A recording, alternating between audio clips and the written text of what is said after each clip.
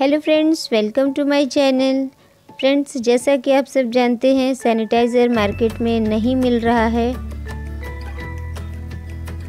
तो ऐसे में हम घर पर ही इफ़ेक्टिव सैनिटाइज़र तैयार कर सकते हैं।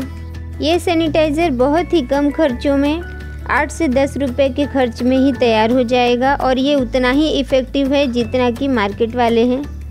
तो चलिए बनाते हैं होममेड सैनिटाइज़र इसके पहले अगर चैनल पर पहली बार आए हैं तो सब्सक्राइब करके बेल आइकन ज़रूर प्रेस कीजिएगा आने वाली नोटिफिकेशन के लिए। सैनिटाइज़र बनाने के लिए सबसे पहले हमें चाहिए एक लीटर पानी। एक लीटर मेज़रमेंट के लिए मैंने एक एक लीटर वाले बोतल में पानी भरकर रखा हुआ है और इसको हम गर्म करने के लिए डालेंगे और इसके साथ ही हम, हमें चाहिए 100 ग्राम नीम के पत्ते। इसे हमने धोकर अच्छे से साफ़ कर ली है और इसे हम पतीले में डालेंगे मीडियम फ्लेम पर।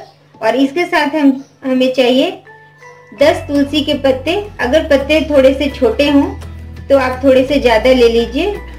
तो इस तरह अब हम मीडियम फ्लेम पर गैस को ऑन करेंगे और इसमें हम इस एक लीटर पानी को डालेंगे। तो सबसे पहले हम फ्लेम को ऑन करके एक लीटर पानी हम गैस पर डाल देते हैं।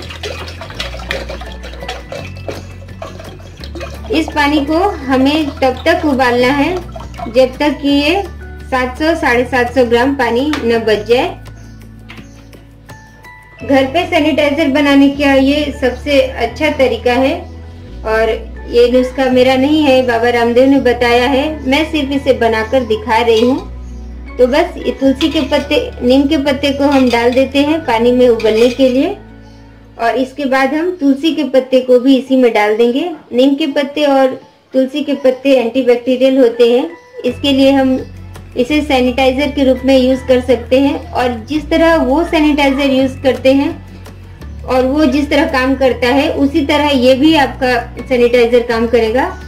तो इसे हमें तब तक उबालना है मीडियम फ्लेम पर जब तक कि ये पानी सात से साढ़े सात सौ ग्राम न बच जाए अगर उसे बाई चांस किसी गलती से थोड़ा सा कम हो गया, यानी 600 ग्राम जैसा बचा तो इससे कोई नुकसान नहीं है। और इसके साथ जब तक ये पानी उबलता है, तब तक हम, हमें कुछ और सामान चाहिए, जैसे कि ये है फिटकिरी। फिटकिरी हमें चाहिए 10 ग्राम और कपूर भी चाहिए हमें 10 ग्राम। इसे हम कूट कर पीस कर इसका पाउडर तैयार करते हैं।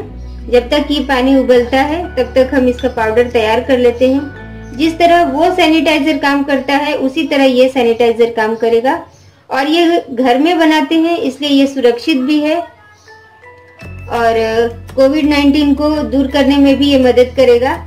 और जिस तरह मार्केट में सैनिटाइजर की कमी हो रही है, उस तरह ये सैनिटाइजर आप बहुत ही सस्ते में तैयार कर सकते हैं। और बिल्कुल ये सुरक्षित है।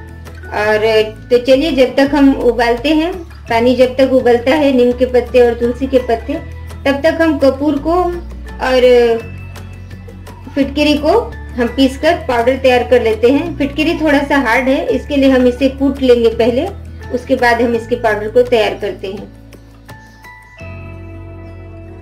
लगभग 10 मिनट 12 मिनट पकाने के बाद कुछ इस तरह से पक गया है। और आप देख सक रहे हैं कि ये अच्छे से पक गया है। तो अब हम इसे फ्लेम को बंद कर देंगे और इसे हम छान लेंगे। छानने के लिए एक चाय छन्नी का हम यूज़ करेंगे और इसके बाद हम इसे छान लेंगे।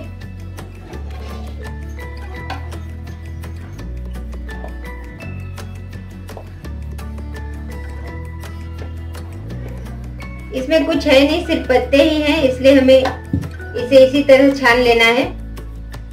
कपड़े में छानने की ज़रूरत नहीं है। और बस, अब हमें इसमें कपूर 10 ग्राम और ये फिटकिरी। फिटकिरी को हमने पीस लिए के पाउडर बना लिए हैं। दोनों 10-10 ग्राम है और इन दोनों को हमें इसमें मिक्स कर देना है।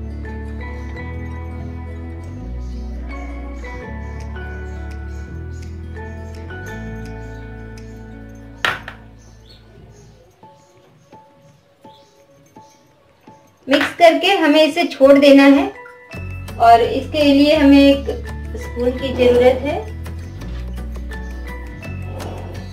इसे मिक्स करके अच्छे से बस इसे हमें रहने देना है।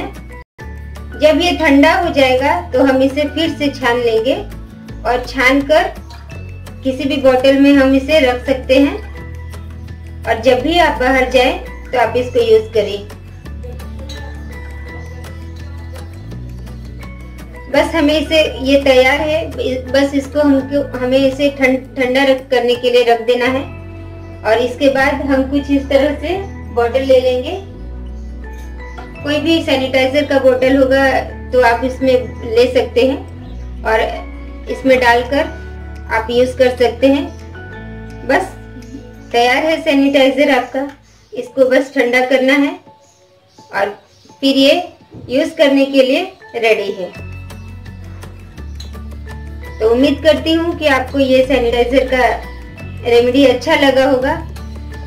और अगर अच्छा लगा है तो लाइक ज़रूर कीजिएगा कमेंट ज़रूर कीजिएगा। कोई भी क्वेश्चन आपके मन में अगर आता है तो आप मुझसे पूछ सकते हैं। और ये बाबा रामदेव ने बताया है इस रेमेडी को तो आप नेट पर भी आप इसे देख सकते हैं। मैं इसे बनाकर दिखाई हूँ कि ये इस तरह से तैयार होगा। तो अगर आपको अच्छा लगा है तो आप लाइक कमेंट और शेयर ज़रूर कीजिएगा, जैसे कि बहुत ज़्यादा लोगों तक ये पहुँच सके और उन्हें इसका फ़ायदा मिले। तो मिलती हूँ, ऐसे ही कुछ और।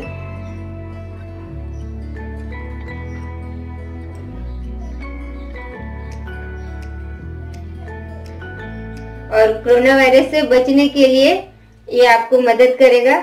तो चलिए, मिलती हूँ, ऐसे ही। और मेरे चैनल पर तो रेमेडी नहीं आती है, बल्कि मैं रेसिपी लाती हूँ। तो इजी और टेस्टी रेसिपी के लिए जुड़े रहिए एन एस होम टिप्स के साथ। और खबरी पर भी आप मुझे सुन सकते हैं। वहाँ पे भी मैं, वहाँ का कंटेंट अलग रहता है। आप वहाँ पे भी देख सकते हैं। वहाँ मैं हेल्थ से जुड़े रेमेडी डालती हूँ। अगर आपको अच्छा लगता है तो मुझे वहाँ भी फॉलो कर लीजिएगा और सब्सक्राइब करके बेल आइकन ज़रूर प्रेस कीजिएगा। यूट्यूब पर भी और वहाँ भी फॉलो करके आप वहाँ भी बेल आइकन प्रेस कर सकते हैं। अगर आपको अच्छा लगा हो तो, तो मिलती हूँ सुरक्षित रहिए सावधान रहिए और हाथ धोते रहिए। और जब भी बाहर जाए तो सैनिटाइजर को साथ ज़रूर ले जाइए बिल्कुल ले जाना ना भूलें और मास्क यूज़ कीजिए और सेफ़ रहिए। मिलती हूँ थैंक यू